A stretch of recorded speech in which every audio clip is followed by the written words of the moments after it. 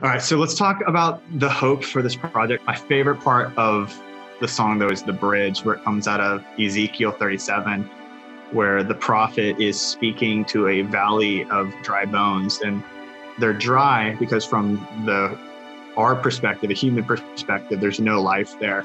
But from God's perspective, they were just like one word away from revival. And we're going to declare this because we believe that Jesus has overcome and that as a church family, our best days are ahead of us. Because as it was with the Valley of Dry Bones, for so many, it's how our souls feel right now. And what we got to do in this season is magnify the Lord, like keep our eyes on Him. Let's worship Him, keep our focus on Him above all the challenges going on right now. And if we do that, we're going to come out of this season bigger and stronger than ever before because we're going to overcome because Jesus overcame. Before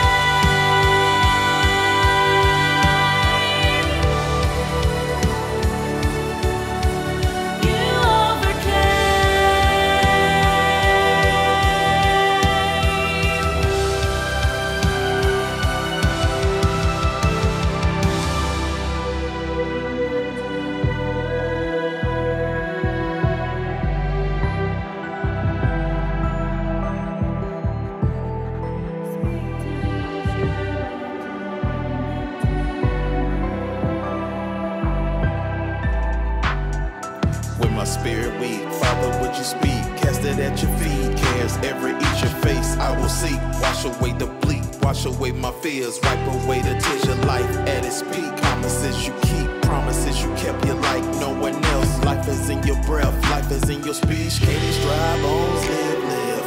I'm a witness to this. Yes, you are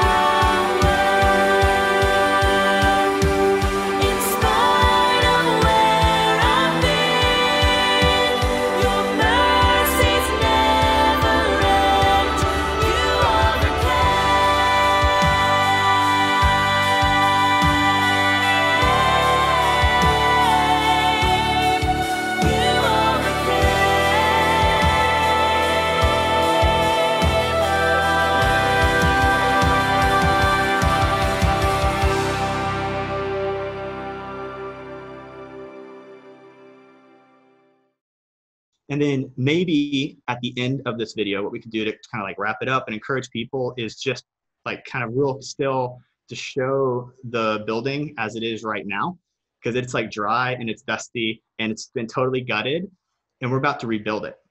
We're going to make it a home for the lord. And i feel like it's a beautiful metaphor for like where we are right now. It's just a pause and it might be empty and it might be kind of torn down right now but god is going to rebuild